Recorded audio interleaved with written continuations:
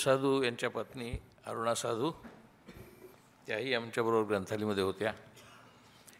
या संपूर्ण पाठ्यवृत्ती प्रकल्पाच्या संकलक उज्ज्वला बर्वे या सर्व कार्यक्रमाचे इथल्या संयोजक आणि इथल्या एकूण संपूर्ण माध्यम व्यवस्थेच्या प्रमुख रेखा शेळके. आणि अर्थातच या सर्व विद्यापीठीय साम्राज्याचे प्रमुख अंकुशराव कदम माझे मित्र राजदीप सरदेसाई पद्मभूषण देशपांडेही माझे कलिग आहेत आणि मित्र आहेत. सदानंद डुमरेही माझे कलिग आणि मित्र आहेत. आणि जयदेव डोळे हे पण माझे सहकारी आणि मित्र आहेत आणि लेखकही आहेत. बंधू भगिनींनो आणि विद्यार्थी मित्रांनो आत्ता राजदीपनी पत्रकारितेवरती म्हणजे अपत्रकारितेवरती जे निवेदन केलं त्याच्याशी मी पूर्णपणे सहमत आहे. फक्त एक अजून एक लक्षात ठेवायची गोष्ट म्हणजे अशी की आत्ता आपल्या देशामध्ये त्यांनी सांगितल्याप्रमाणे भक्तिमार्ग प्रदीप सदृश पत्रकारिता चालू आहे विशेषतः टेलिव्हिजनमध्ये. आणि त्याच वेळेला अमेरिकेमध्ये जवळजवळ सर्व पत्रकार म्हणजे शंभर टक्के पत्रकार असेल त्यातले नव्वद टक्के पत्रकार हे तिकडे ट्रम्पच्या विरोधी भूमिका घेऊन प्रत्यक्ष रणांगणात उतरल्यासारखे आहेत माध्यम रणांगणात उतरल्यासारखे आहेत. आणि त्याच्यामुळे त्यांच्याकडची पत्रकारिता आणि आपल्याकडची पत्रकारिता ह्याच्यातला फरक पुन्हा एकदा दिसून आला आहे आपल्याला काहींना माहिती असेल काहींना नसेल पण पत्रकारितेचं जर खरं सामर्थ्य प्रगट झालं तर काय होऊ शकतं? याचा अलीकडच्या काळातला म्हणजे गेल्या चाळीस पन्नास वर्षातला पहिला अनुभव जो होता गेल्या चाळीस पन्नास वर्षातला तो अमेरिकेतल्या न्यूयॉर्क टाईम्स आणि वॉशिंग्टन पोस्ट या वर्तमानपत्रांनी वॉटरगेट आणि पेंटागॉन पेपर्सच्या संबंधामध्ये दाखवला. एक द पोस्ट नावाचा सिनेमा आलेला आहे. तुमच्याकडे चित्रपट विभाग आहे ते नक्की तो दाखवतील किंवा दाखवलंही असेल.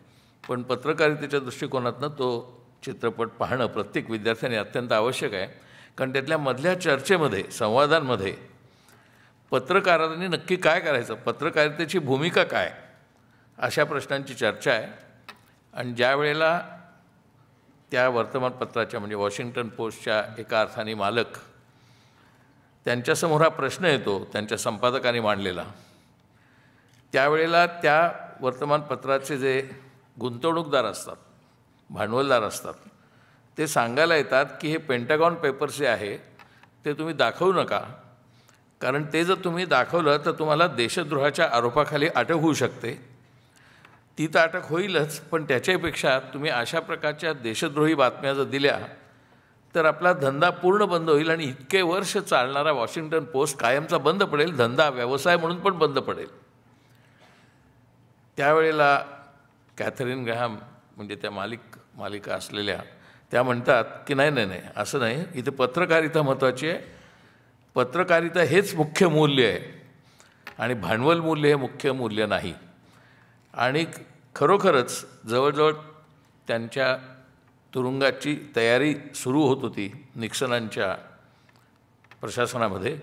त्यावेळेला कॅथरीन ग्रॅमने जाहीर केलं की नाही आपण पत्रकारिता करायची आपल्याला त्याच्यासाठी तुरुंगवास झाला तरी हरकत नाही धंदा बुडला तरी हरकत नाही पेपर बंद पडला तरी हरकत नाही पण पत्रकारितेचं जे मूल्य आहे ते आपण जपायचं. हे पोस्टने जपलं न्यूयॉर्क टाइम्सने जपलं पण आपल्याला अमेरिकेतली उदाहरणं द्यायची काही गरज नाही. आपल्याकडे स्वातंत्र्यामध्ये स्वातंत्र्य चळवळीच्या काळामध्ये सगळ्यात मुख्य आधार स्वातंत्र्य चळवळीचा पत्रकारिता होता. खरं जर तुम्ही पाहाल तर त्यावेळेला साक्षरता किती कमी होती सुशिक्षित किती कमी होते? आपण सगळ्यांना आपल्याला सगळ्यांना माहिती आहे की केसरीला आपण असंतोषाचे जनक म्हणतो. त्यावेळचा केसरीचा मराठीचा एकूण वाचक वर्ग आणि एकूण त्याचं वितरण हे किती कमी प्रमाणात असेल त्यावेळच्या मराठी माणसांच्या लोकसंख्येमध्ये? तरीसुद्धा केसरीला ती भूमिका करावी लागली आणि त्या भूमिकेबद्दलच केसरीचा सन्मान झाला.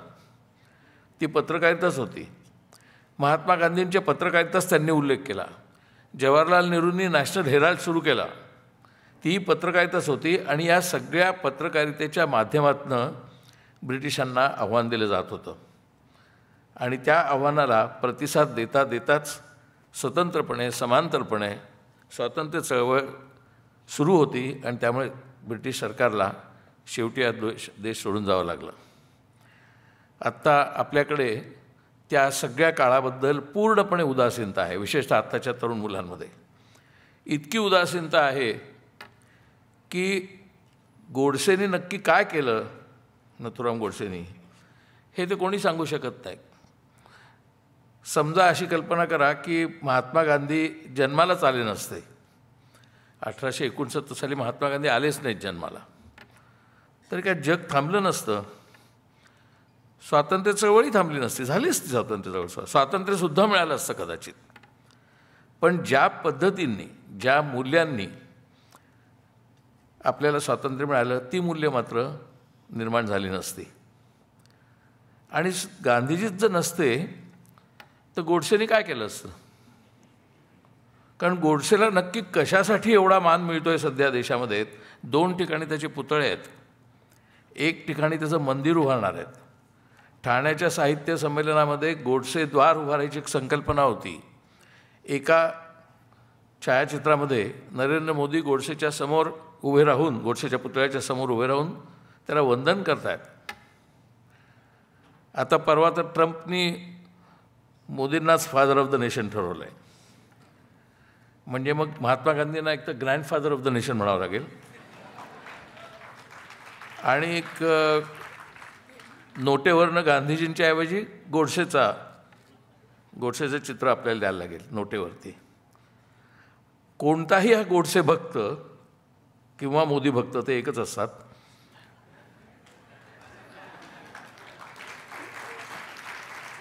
यांनी मला आत्तापर्यंत सांगितलेलं नाही. आणि मी राजदीपच्या पद्धतीने खुल्या मनाची पत्रकारिता करून त्याला विचारले मला गोडसेनी गांधीजींच्या खुनाच्या अगोदर नक्की काय काम केलं आहे काय बा आदिवासींच्या शाळा काढल्या आहेत गरीब शेतमजुरांचं काम केलं आहे कामगारांची संघटना बांधली आहे कामगारांच्या न्यायासाठी लढलेत मध्यमवर्गीय कर्मचारी आहेत त्यांच्यासाठी आहेत बेकारांच्या प्रश्नावरती लढले गोडसेनी नक्की केलं आहे काय? तर गोडसेनी गांधींच्या खुनापलीकडे काहीच केलेलं नाही. आणि तरीसुद्धा आपणच आपण जिथे बसलेले काही जणं असतील त्यात काही जण नसतील. मी नथुराम बोलतोय नाटक जोरात पाहतो. गांधीवादी आणि काँग्रेसवाले असे आहेत ज्याचा उल्लेख राजदीपने केला की ते काहीच करत नाहीत. मी गांधी बोलतो आहे असं कोणी नाटक लिहिलेलं नाही कोणत्याही गांधीवाद्यांनी. किंवा मी नथुराम बोलतो आहेला उत्तर मी गांधी बोलतो आहे गांधींनी कधी मी काय करतो आहे सांगितलं नाही. पण तमाम नथुरामवाद्यांना नथुराम काय करतोय आणि नथुरामवादी काय करतात ते सारखं ते सांगत असतात सगळी माध्यमं वापरून प्रत्येक माध्यम वापरून. आणि प्रत्यक्षात ते काहीच करत नसल्यामुळे त्यांना ज्यांनी काही प्रत्यक्षात केलेलं आहे त्यांच्या बदनामीखेरीस काहीच करता येत नाही. त्यामुळे त्या व्हॉट्सॲप विद्यापीठामध्ये सध्या जो पंडित नेहरूंबद्दल मजकूर प्रसिद्ध होतोय जो इथल्या तरुण मुलांना पूर्ण माहिती असेल त्या मजकुरामध्ये तथ्य शून्य आहे आणि पंडित नेहरू अकरा वर्ष तुरुंगात होते. ह्याचंसुद्धा पूर्ण भान नाही आहे ते स्वातंत्र्यासाठी होते त्या तुरुंगात असताना त्यांनी discovery of India glimpses of world history आणि त्यांची ऑटोबायोग्राफी लिहिली. आजही जगभर त्यांचा प्रचंड खप चालू आहे. आणि तरीसुद्धा आत्ता ह्या नव्या व्हॉट्सअप युनिव्हर्सिटीमध्ये पंडित नेहरूंची जी बदनामी केली जाते जी आता अगदी अर्णब गोस्वामींपर्यंत टेलिव्हिजनवरती सुद्धा जोर जोरात ती चालू असते. एकदा मीच अर्णब गोस्वामींच्या चॅनलवरती होतो. बहुतेक तो किंवा तत्सम कार्यक्रम पाहून राजदेवने मला ताबडतोब मेसेज पाठवला की तो जाणं बंद कर अर्णब गोस्वामीच्या कार्यक्रमाला. कारण तो तिथे सगळ्यांचा अपमान करतो खोटं नाटक काहीही बोलतो आणि आपण प्रत्यक्षात त्या अर्णब गोस्वामीला प्रतिष्ठा देतो आहे काही प्रमाणात मी त्यांचा सल्ला ऐकला काही प्रमाणात ऐकला नाही. पण त्यांचा मुद्दा बरोबर होता पूर्णपणे. तो मुद्दा अशासाठी बरा बरोबर होता. की ते सांगताना ज्या गोष्टींचा गांधीजींशी किंवा नेहरूंशी काहीही संबंध नाही त्याबद्दल ते सर्रास बदनामी त्यांची गांधी आणि नेहरूंची त्या चॅनलवरती त्यावेळी चालू होती. साधारणपणे त्या कार्यक्रमानंतर मी जाणं बंद केलं. फक्त त्या कार्यक्रमामध्ये मी डायरेक्टली त्याला त्याच कारण ते लाईव्ह पण आलं तसंच्या तसं. आणि तेच वाक्य तिथे बोललो मी. मी म्हटलं Arnab why are you behaving like an agent of Narendra Modi paid by Amit Shah?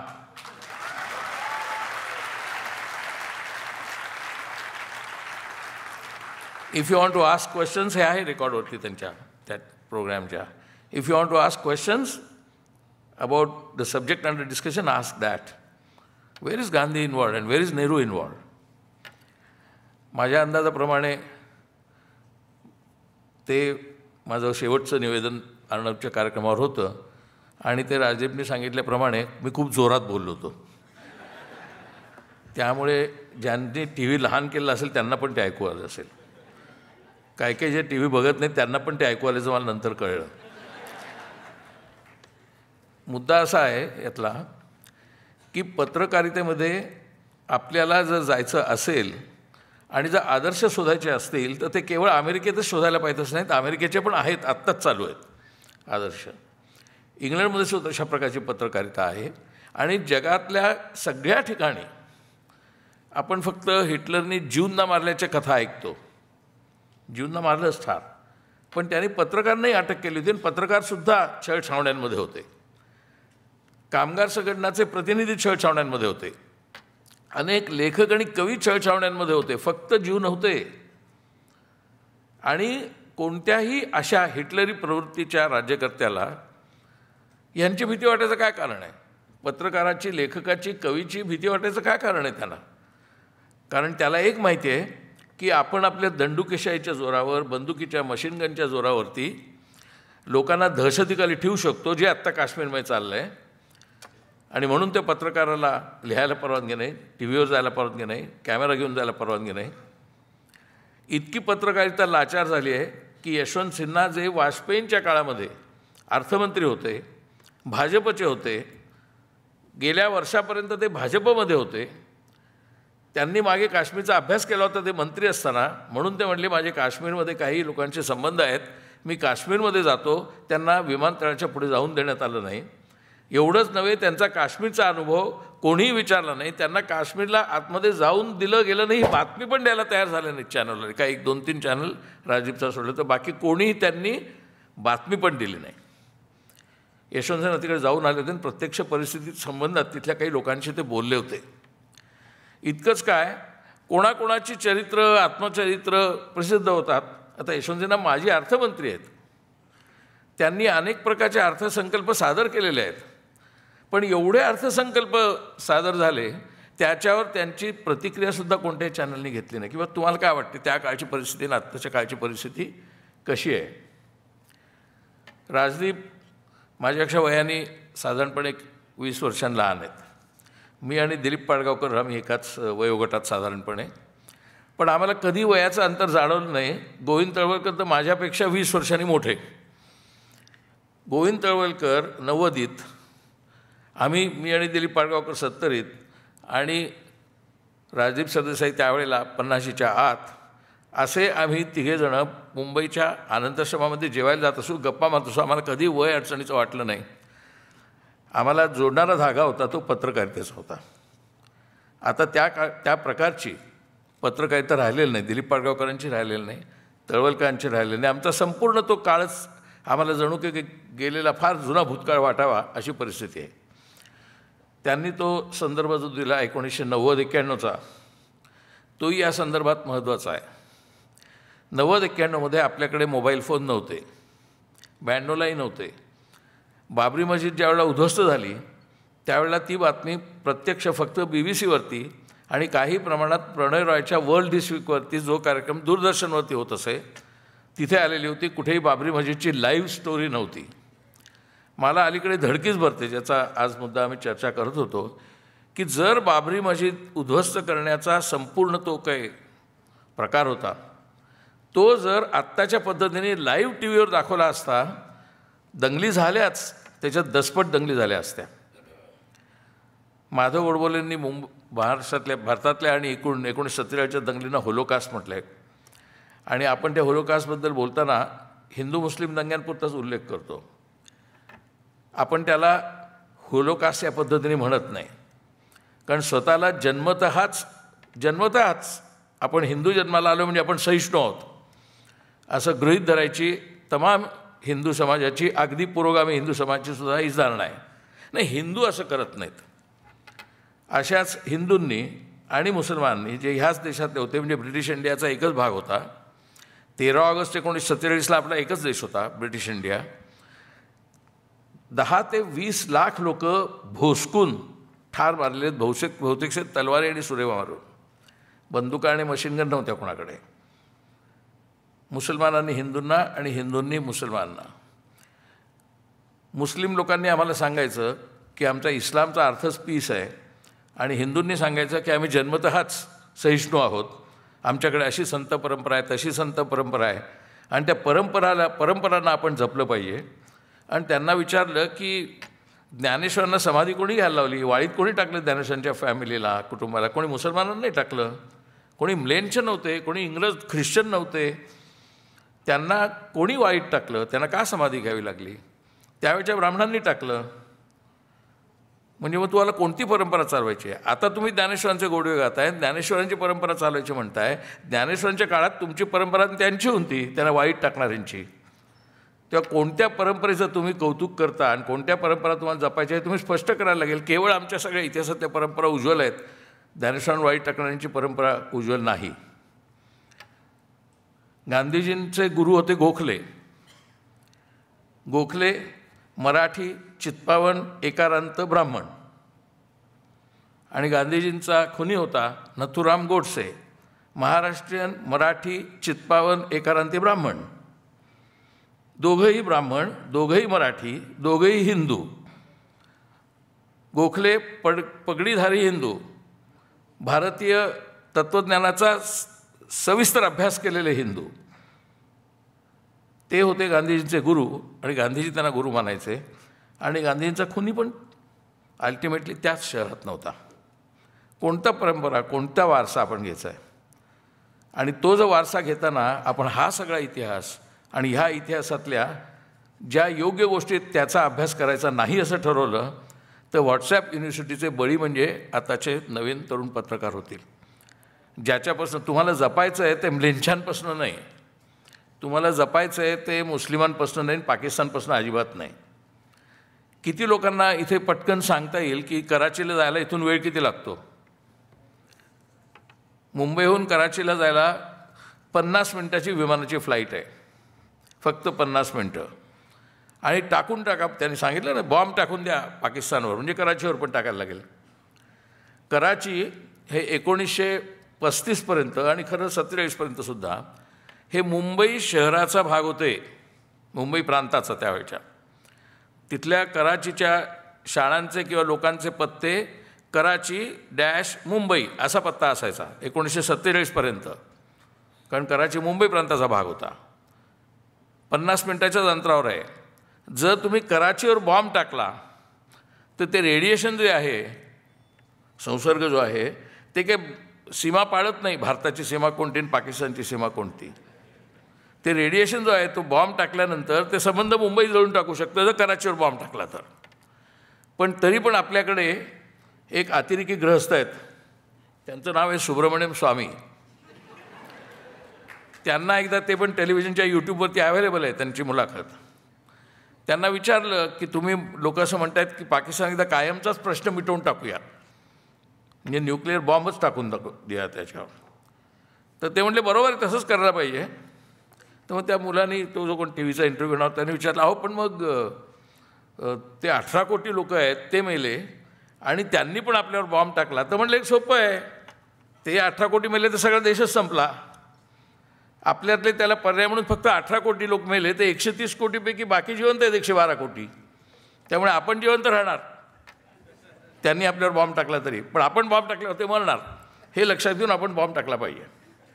हे सुब्रमण्य स्वामी टेलिव्हिजनच्या यूट्यूबवरती तुम्ही जाऊन पहा. असं जो मनुष्य म्हणू शकतो त्याला एवढं तर विज्ञानाची माहिती पाहिजे की तिथे बॉम्ब टाकला तो परवापर्यंत तुमचाच भौगोलिक भाग आहे एकच देश आहे. म्यानमारचा तुमचाच भाग आहे आज तुम्ही रोहिंग्याबद्दल बोलता. टिळकांना मंडालेत टाकले होते तुरुंगामध्ये. मंडाले ब्रह्मदेशचा म्हणजे म्यानमारचा भाग आहे. सुभाषचंद्र बोसांना पण मंडालेत ठेवले होते तो पण म्यानमारचा भाग आहे. तो त्या सगळ्या त्या काळात त्या ब्रिटिश इंडियाचा भाग होता. शरदचंद्र चटर्जींची पात्र कादंबऱ्यांमधली सातत्याने रंगूनला वगैरे जात असतात. रेल्वेनी कलकत्त्याहून. म्हणजे त्यावेळचा बांगलादेश ढाक्यावरून जात होते. ढाक्यात पण भारतात आहे पाकिस्तान पण भारतात आहे. आपले सगळे महत्त्वाचे ठराव स्वराज्याचा स्वातंत्र्याचा ठराव हा लाहोर आणि कराचीमध्ये झालेले आहेत. पण आता इतिहासच सांगायचा नाही असं ठरलं आहे कारण आता इतिहास संपूर्णपणे नव्याने लिहायला घेत आहेत आता इतिहास नव्याने लिहायला असं हरकत नाही पण आपले शिक्षण मंत्री पोखरियाल जे आहेत तेच मुळे आता असं सांगतात की आपल्याकडे सर्वच विज्ञान होतं अणूचा शोध पण आपल्याकडे लागलेला होता. आता अणूचा शोध ते सुद्धा त्यांनी चुकी सांगितलं. ॲक्च्युली त्यांना म्हणायचं असेल कणाद मुनी. त्यांनी कोणतरी दुसऱ्याच मुनीचं नाव घेतलं. ते म्हणजे अणूचा पण शोध लागला होता आपल्याकडे. मग अणूचा तुमच्याकडे जर शोध लागलेला होता तर न्यूक्लिअर सप्लाय ग्रुपमध्ये आपला करार व्हावा म्हणून मोदी जगभर फिरतायत कशाला?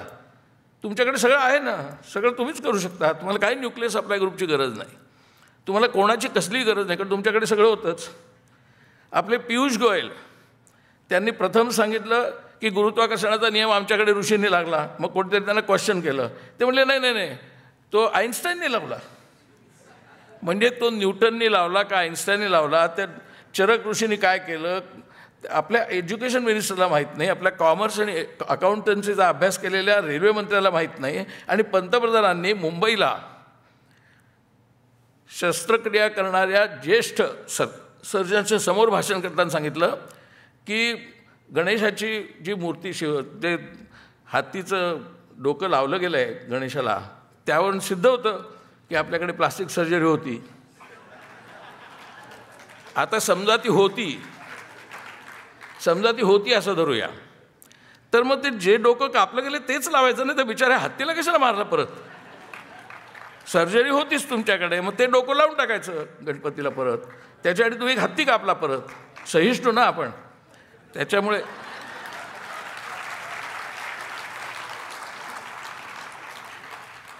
आता त्याच भाषणांमध्ये आपले लोक म्हणतात की आपल्याकडे पुष्पक विमानं जात होती म्हणजे आपल्याकडे एरोनॉटिक्स पण होतं. मग आपल्याकडे जर एरोनॉटिक्स होतं तर राफेलला फ्रान्सला कशाला जायचं? राफेल गेला फ्रान्सला जायची गरज नाही. आमच्याकडे एरोनॉटिक्स ॲडव्हान्स एरोनॉटिक्स आहे. आणि बी आर चोप्रांच्या रामायण आणि यांच्या महाभारत नारंगच्या रामायणामध्ये बी आर चोप्रांच्या महाभारतामध्ये सगळी शस्त्रास्त्र वापरलेली आहेत. मग आपण कशाला घेतो ती अमेरिकेकडनं इस्रायलकडनं? आता सध्या आपण इस्रायलकडनं खूप शस्त्रास्त्र घेतो आणि सायबर वेपन्स घेतो. फ्रान्सकडनं कशाला घेतो आपल्याकडे सगळं होतं ना मग तेच चालू द्या ना पुढे.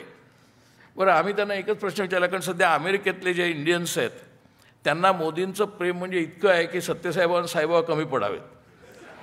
साहेबांची क्षमा मागून आणि सत्यसाहेबांची सुद्धा. म्हणजे आता हे नवीन मोदी बाबा आहेत ते मोदी बाबा केदारनाथला गेल्यावरचं तुम्ही दृश्य पाहिलं असेल ते डिट्टो सत्यसाहेबासारखे दिसत होते. परवा हावडी मोदीमध्ये मला वाटलं मोदी आता काहीतरी उदी काढून दाखवणार.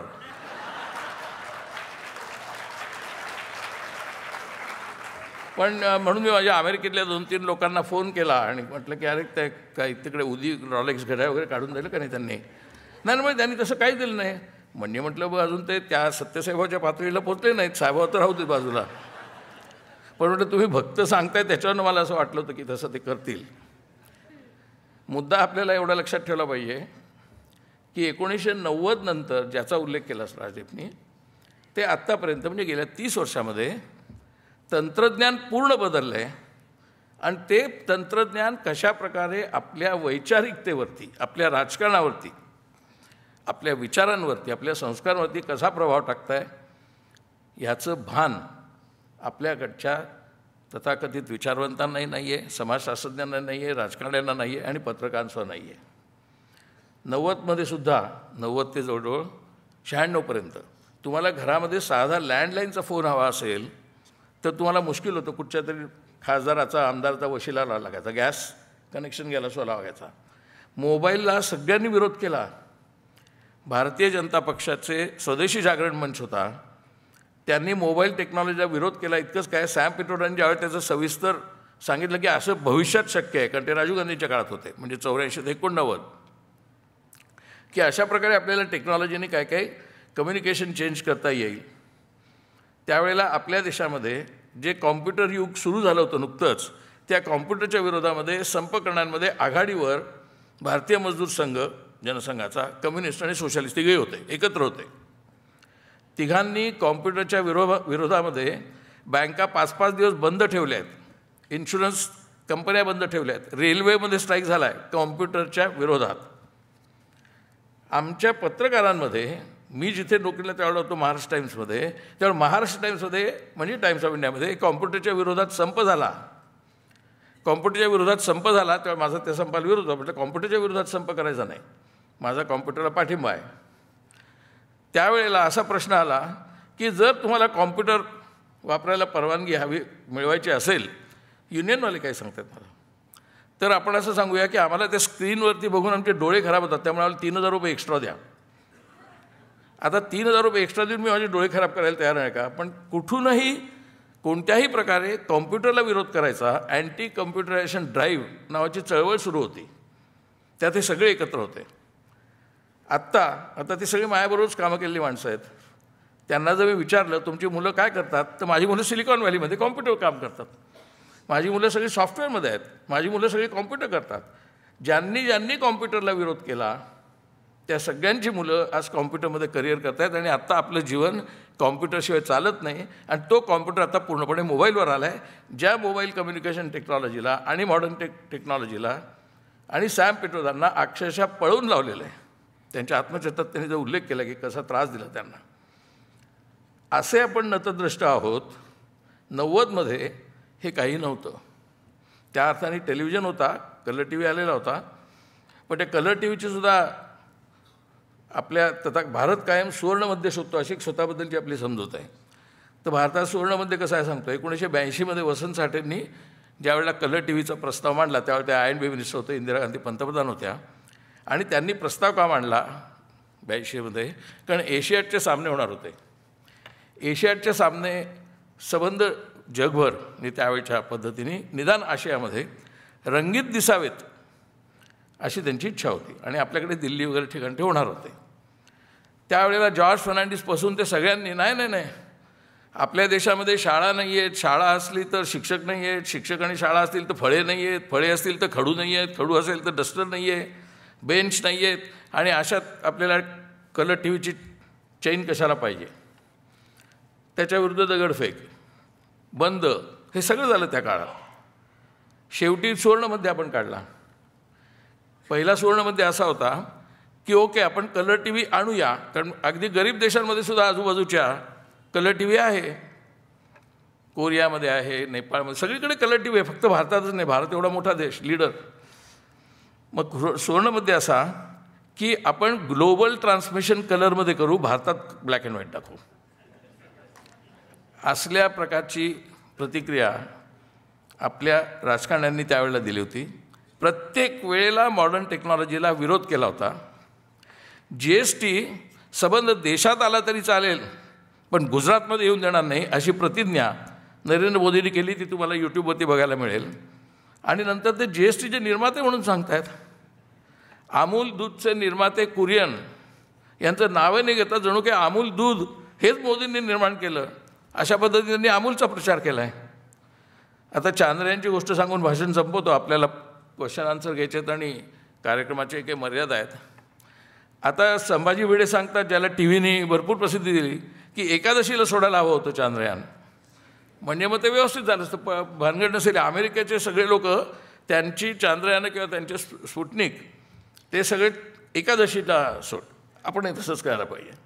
आता हापूस आंबे खाऊन जर गर्भारशी होता येत असेल तर तर चांद्रयान आपण तर चांद्रयान आपण एकादशीलाच सोडलं पाहिजे. ह्या विषयावरती सगळ्या चॅनल्सनी संभाजी भिडेंना भरपूर प्रसिद्धी दिली. पण त्या चांद्रयानचे कोणते नक्की काय प्रॉब्लेम प्रॉब्लेम होऊ शकतात स्पेस सायन्स कुठच्याही सायन्समध्ये होऊ शकतात.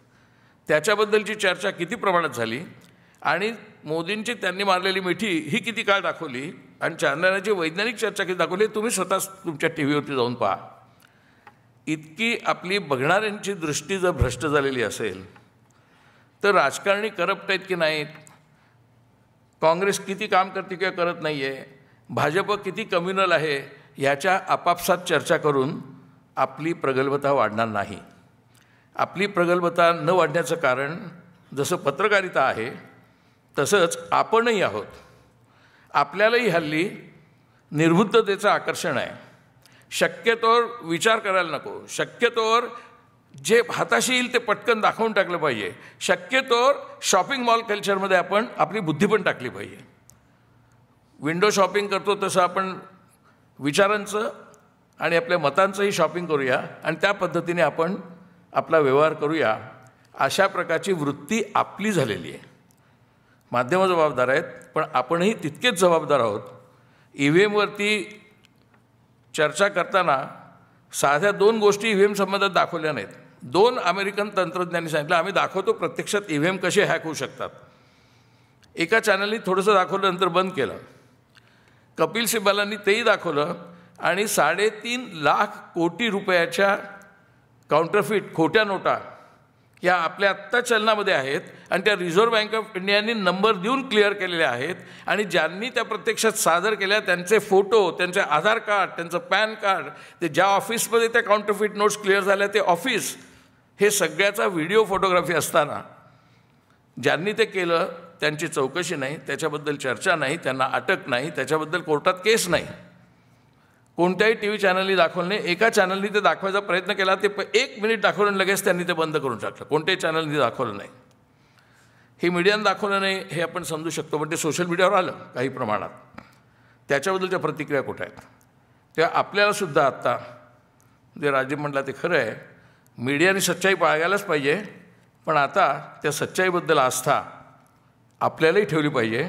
जर आपल्याला सच्चाईबद्दल आस्था नसेल तर मीडियाने सच्चाई दाखवली तरीसुद्धा तुम्हाला भक्त प्रवृत्तीने व्हॉट्सअप युनिव्हर्सिटीचं पटेल रेग्युलर मीडियाचं पटणार नाही. तेव्हा शिकायला आपण सर्वांनीच पाहिजे. धन्यवाद.